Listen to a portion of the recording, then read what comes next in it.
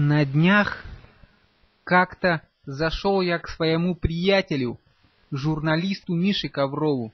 Он сидел у себя на диване, чистил ногти и пил чай. Предложил и мне стакан.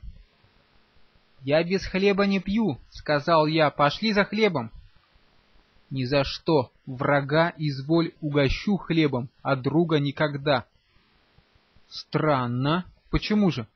«А вот почему. Иди сюда». Миша подвел меня к столу и выдвинул один ящик. «Гляди!» Я поглядел в ящик и не увидел решительно ничего. «Ничего не вижу, ссор какой-то. Гвозди, тряпочки какие-то, хвостики». «Вот именно!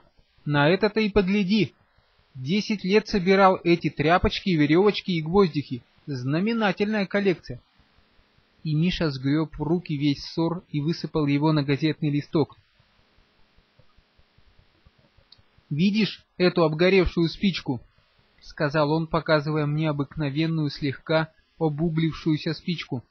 «Это интересная спичка. В прошлом году я нашел ее в баранке, купленной в булочной Севастьянова.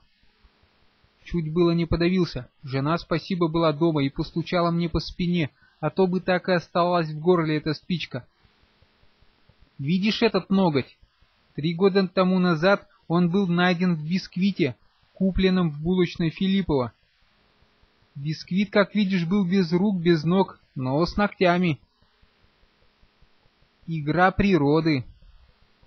Эта зеленая тряпочка пять лет тому назад обитала в, коле... в колбасе, купленной в одном из наилучших московских магазинов. Сей засушенный таракан купался когда-то в щах, которые я ел в буфете одной железнодорожной станции, а этот гвоздь в котлете на той же станции. Этот крысиный хвостик и кусочек софьяна были оба найдены в одном и том же филипповском хлебе. Кильку, от которой осталось теперь одни косточки, жена нашла в торте, который был поднесен ей в день ангела. Этот зверь, именуемый сороконожкой, был поднесен мне в кружке пива в одной немецкой биргалке. А вот этот кусочек гуана я чуть было не проглотил, уписывая в одном трактире «Растягай» и так далее, любезный. Дивная коллекция. Да, весит она полтора фунта, не считая всего того, что я по невниманию успел проглотить и переварить. А проглотил я, наверное, фунтов пять-шесть. Миша взял осторожно газетный листок, минуту полюбовался коллекцией и высыпал ее обратно в ящик. Я взял в руки стакан, начал пить чай, но уже не просил послать за хлебом.